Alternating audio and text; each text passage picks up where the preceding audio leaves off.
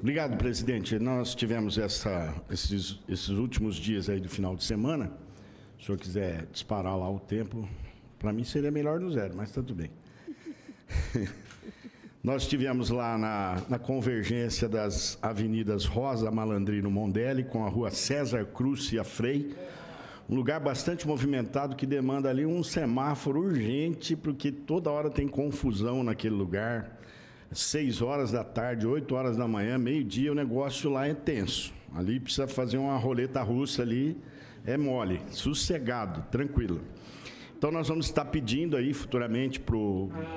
Já comunicamos ao secretário de obras, também comunicamos aos demais é, departamentos competentes do assunto, né? E vamos estar acompanhando. Agradecer ao Jorge também pelo trabalho que ele fez no condomínio Jandaia, que nós vemos acompanhando há algum tempo. E graças a Deus hoje eles concluíram o trabalho, a população agradece imensamente a prestatividade com que foi tratado o problema. Era muito grave e, além do mais, também tem o problema da, da, deste bairro Margear, também ali a linha férrea de, de responsabilidade da LL, que precisa também é, de manutenção. Estivemos na rua Padre Vander, Francisco Vander Mas, é, no quadra 19, ali próximo ao macro. Também é um lugar que demanda algumas, algumas mudanças e nós estaremos encaminhando para a prefeitura e para os, os órgãos competentes. Eu tenho um vídeo para passar. É, a equipe da TV Câmara, por favor, é uma sugestão que nós vamos dar ao governo municipal para poder agilizar as cobranças. Então, por favor, TV Câmara, se puder colocar o vídeo, eu agradeço. A Prefeitura de Ponta Grossa autorizou a instalação de três totens de autoatendimento para o pagamento de tributos municipais e outros impostos e taxas, como o DPVAT e o IPVA. Um deles fica aqui no saguão da Prefeitura, o outro no prédio do antigo Clube Guaíra e um terceiro no terminal central. No totem, o contribuinte tem que ter a, a, guia dele com o código de barra, o totem faz a leitura do código de barra e já apresenta uma tela onde o contribuinte pode negociar aquele pagamento em até 12 meses no no juro que cada operadora de cartão ali, a gente tem duas credenciadas hoje de cartão, no juro que cada uma está oferecendo no momento. Então, nessa época de pandemia, onde o contribuinte não tem muito acesso ao banco, a, a, ao pagamento em lotéricas, mas um, uma, uma via de pagamento seria pela internet ou diretamente nesses totens de recebimento. Um exemplo prático que a gente pode é, dizer que pode ser pago no totem, pode ser pago no cartão de crédito, em relação ao ITBI. Para a gente fazer uma transferência imobiliária, tem que estar pago o ITBI. Então, tem que ser o pagamento à vista.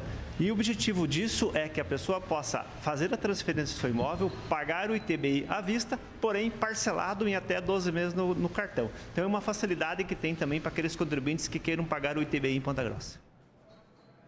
São essas é, sugestões para a população, para o governo municipal, inclusive para tirar das costas muito aluguel. Isso aí vai resolver bastante problema em questão de aluguel e vai acelerar o recebimento daquilo que é devido ao município.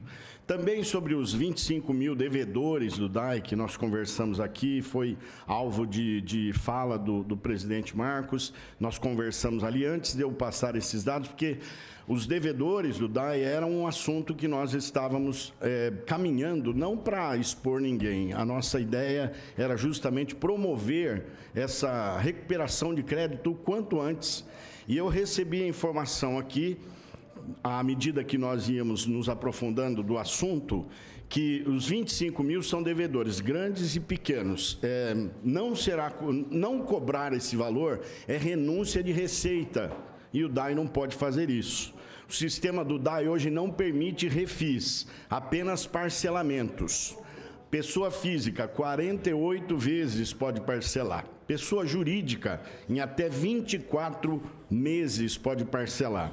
Pessoas em condições de vulnerabilidade podem parcelar 100% do débito sem entrada.